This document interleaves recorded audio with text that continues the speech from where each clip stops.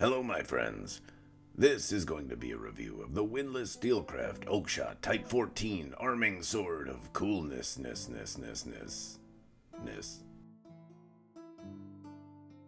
Before we begin, there are some important disclosures that you should know and or read. First off, this review contains only my personal thoughts, which are relatively simple. It's meant to be entertaining and not necessarily informative, so keep that in mind as you listen to my ramblings. Secondly, I bought this sword new from Museum Replicas Limited. It's a brand new windlass sword, and I paid with it with my own money that I get from working at places and stuff. Also, swords are dangerous, be careful. Now, you'd think I'd edit out that last clip, but editing is terrible, so I don't do very much of it. Anyway, what I'm going to show you now is an unboxing. That's not something I generally do because unboxing isn't really relevant. A lot of times I buy swords secondhand and it's not representative of what you would get from a manufacturer, but in this case it is. Now what you can see is that the sword came extremely well packed and came with all sorts of pamphlets for information, for sword Addicts Anonymous, and well, it's not really that. It's more stuff for like buying. Like if your drug dealer gave you like a pamphlet with different types of crack you could buy.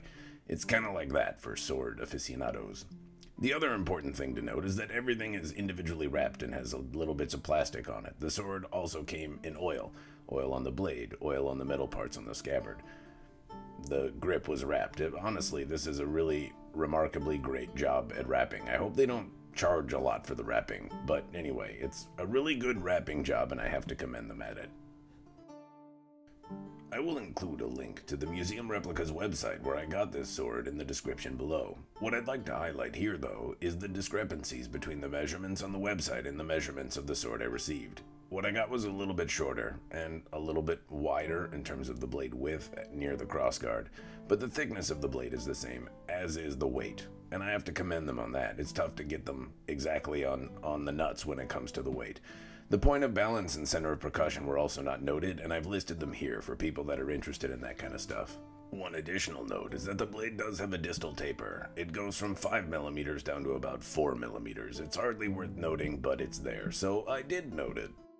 Enough about all that crap. Let's talk about the sword. Here's the peen, not the penis. The peen, it's a little block right there, and you can see it's done pretty well. The grip is also very nice. It's stitched well, and it's simple but nice.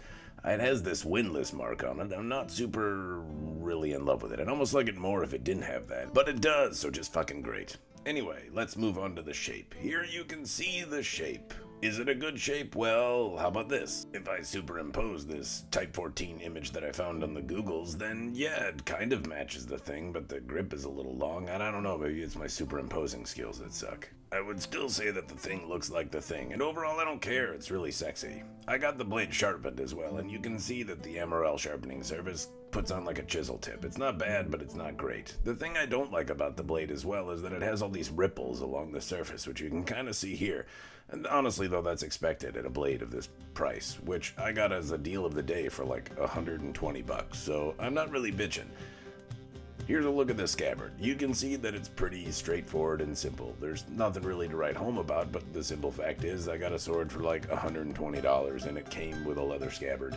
And that's that's pretty cool. Even though it, I don't know, it has this unsightly bulge here, kind of like when my, I put my iPhone in tight pants or something.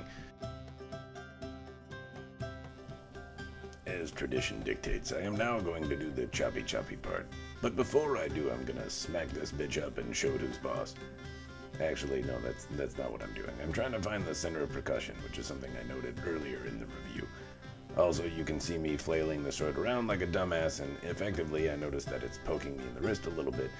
As a side note, I don't study HEMA, so I don't honestly know how to hold the sword properly. I'm swinging it like a bat, and I realize that there are going to be some adverse effects from that. Now, before I kill my water bottle targets, I'm going to, to dazzle them with my balancing skills to death.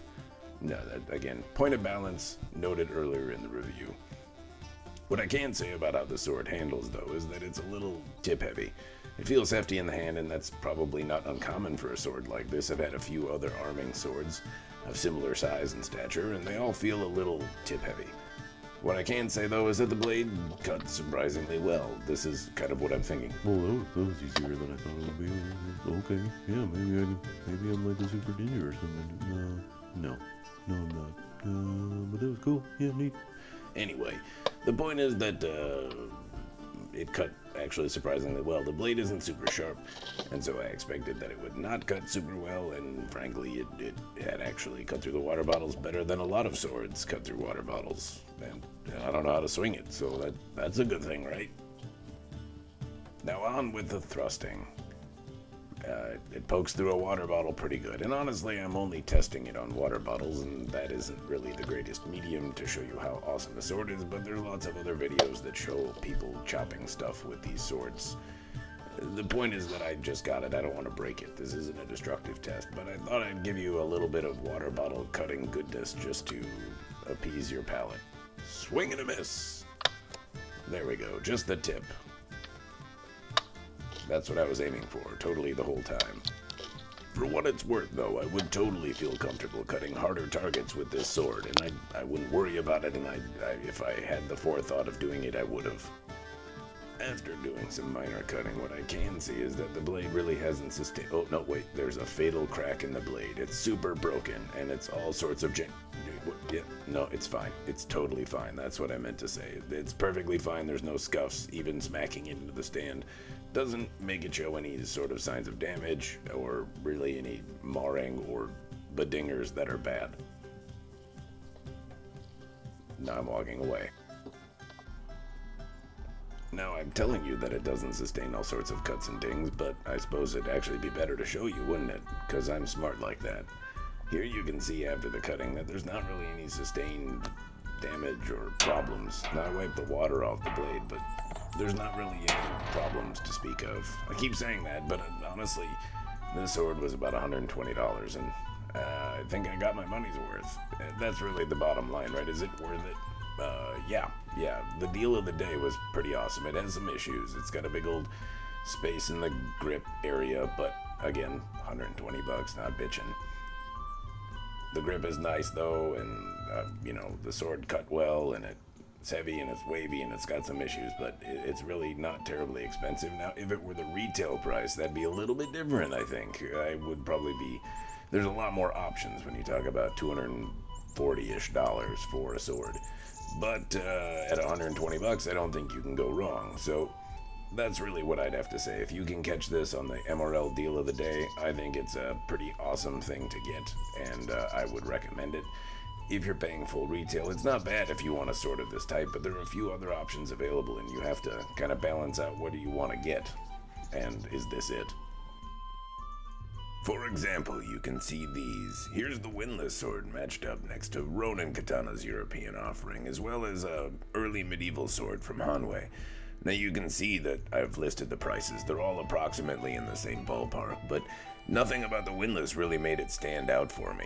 I would say, frankly, that I would rather have an offering from Ronin Katana if I'm paying full price or Hanwei than I would the Windlass sword.